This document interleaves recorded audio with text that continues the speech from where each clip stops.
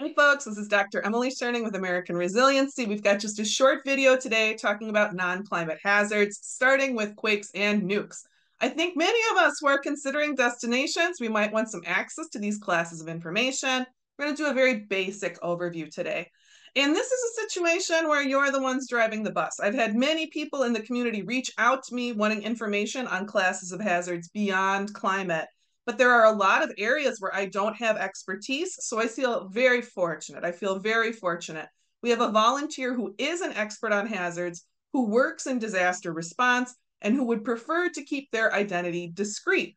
This person is working to put together information on at risk infrastructure, which they will use to help me take a look at different regions in the US and identify critical vulnerabilities like at risk dams and their downstream population centers. We also hope to put together regional information on water and soil contamination and pollution, which are concerns worth noting in many potential destination areas. I expect we'll be putting that information out over the next year or so. The detail required for the infrastructure work in particular, it's exceptional. It often requires access to physical information sources. It's not information anyone is going to be able to pull out with AI, and I wouldn't be able to do it. I'm so grateful for the work our hazards expert is doing for us all and for the opportunity to give a voice to share this knowledge to our community. I do feel compelled to say also how grateful I am to the community as a whole. The specialized knowledge we're able to share with each other, what we can build together, it's special. I feel like we're making something that's good in the world. And that is awesome. But let's get to work. The expert told me, hey, well, we're building up more complex regional content on these infrastructure risks. Let's at least get people thinking about it. And we can start with this compelling topic of earthquakes and nuclear sites. And I have to admit, quakes and nukes is a compelling combination. Let's get to it. First, earthquakes. As a Midwesterner, earthquakes scare me. If you check out this figure, which is from the USGS, which is our nation's geological service, totally solid earth science people, they put together this figure it shows how often you get big shakes in different parts of the country. And I'm sure you will notice we've got some pretty nice overlay with the Northern Midwest destination region, one of the best potential lifeboat regions in the world with great water, a reasonable cost of living, and many terrifying weathered hazards available in all seasons. However, no earthquakes. Please note the time scale on the figure here. This is a serious rock person figure. We're looking at a 10,000 year time scale. Damaging earthquakes can be felt anywhere on our dynamic planet, but in this key destination area, a drilling really down here on the northern Midwest, you can expect less than two damaging earthquakes every 10,000 years. Some folks worry about earthquakes in the Midwest because they remember the extremely freaky event that was the New Madrid earthquakes of 1811 to 1812. As you can see in this period engraving reproduced on Wikipedia, this earthquake caused many sheds to fall over. More seriously, this was actually an extremely intense regional event that caused the Mississippi River to flow backwards all the way up to Minnesota. The extreme shaking caused ground liquefaction. It broke basically everything. And when that fault goes again, we would expect a very bad day indeed in the St. Louis metro. This is a possibility they teach us in school if you grew up in the Midwest. But you can see if you're a person who's concerned about the New Madrid, that the New Madrid fault actually has a fairly limited locus of major action, as we can see on this USGS figure. Which let's get back to that and look at that we can see where that New Madrid epicenter is, right there down in the tip of Missouri. And we can see that it does not extend, its range of shake doesn't really extend well up into your best destination territory areas for the northern Midwest, which is cool. Thinking more about places where a person might want to go as we enter a higher period of climate risk you can see that, as you might know, there's a pretty crazy level of earthquake risk in the Pacific Northwest. We are aware of a cycle of major earthquakes and associated tsunamis that occur every 300 to 400 years in that area. And because, of course, we are, we are due for another major shake in that area. If you've ever visited coastal Washington, You've seen these tsunami evacuation route signs all over, anywhere by the beach, anywhere by the ocean. And that's because this is a well understood regional risk. There are strong indigenous teachings on this matter as well. You may have heard that in Japan, there are ancient stones that mark tsunami danger lines. In the Pacific Northwest, we have a similar tradition in the land, a similar indigenous tradition. There is human memory of the last time this happened.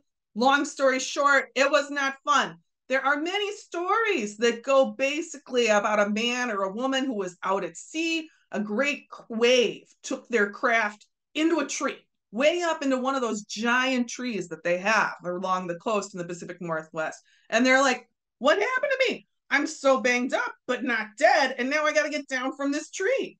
And then this woman says she comes down into a world that is washed with chaos. People find each other as best they can to build a new world to build new community buildings well back beyond the path of that wave.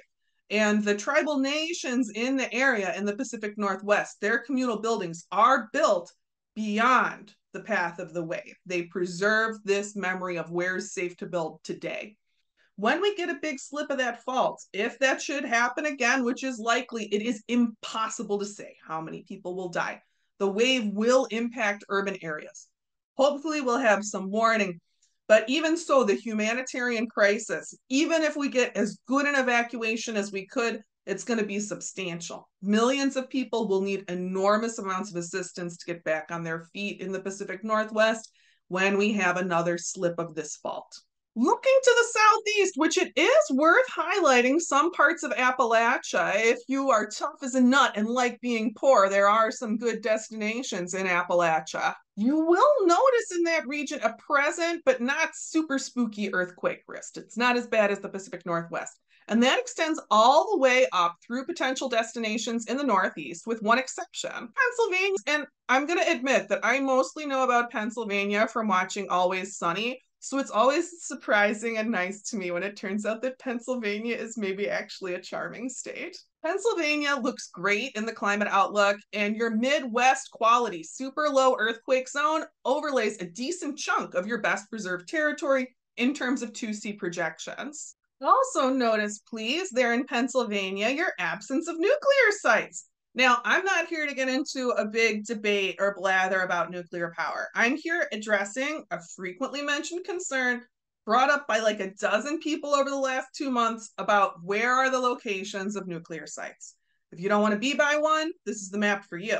If you love nuclear sites and want to cleave to their sweet, sweet power, this is also a great map. This map from GAO Analysis is a starting point for those of you who want this information. Density of sites might concern or interest you, in which case you might be surprised by how many nuclear sites there are along the Northeast coast. Many of these sites are potentially quite vulnerable to sea level rise, even in lower end sea level rise scenarios. However, density isn't the only safety concern. We see only a few sites to the west, but in Washington state, the Hanford nuclear site contaminated the groundwater. That's not a conspiracy, it's a well acknowledged reality. We can see here that nuclear sites are distributed throughout destination areas in the Midwest, Appalachia, and the Northeast. On this map, you can see if this site is active or if it has been shut down. At sites that have been shut down, you may want to learn more about the presence and storage of any nuclear products. This gives us some interesting information to weigh as we begin to consider hazards beyond climate. If you're interested in information like this, we're going to have more coming out occasionally in the next year.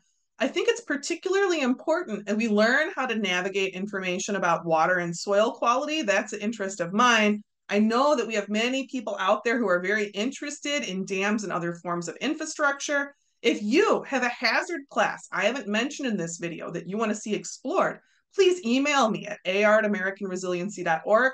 Talk about it in the comments section. As we move into an uncertain future, AR wants to bring you the best information that we can. Talk with you again soon, and let's get ready. Folks, thanks for watching. As always, I want to recognize the many people whose contributions are keeping AR going. Our donors, our volunteers, those of us spreading the word online, and those of us doing the work on the ground. As a community update, I want to let you know that you all have given me such comfort and strength as my family faces a serious medical diagnosis. If you've been holding us in your hearts, if you've been praying for us, you might like to know that my husband got into one of the clinics he needed on Friday, six weeks before we expected him to be seen. The doctor there says that his symptoms do likely indicate neurodegenerative disease, and she's giving him some medications in advance of diagnosis that should help treat his symptoms, maybe slow the whole thing down a little and improve his quality of life. I'll probably have more information for you towards the end of October. Until then, we're going to just try and keep it together. And I want you to know that I'm not going away. You all have never seen me work when I'm not also doing heavy caregiving. My youngest just started kindergarten, and all this comes down I take pleasure in my work. It matters to me to keep doing my best to get you what you need. Thanks for being with me, and I'll talk with you again soon.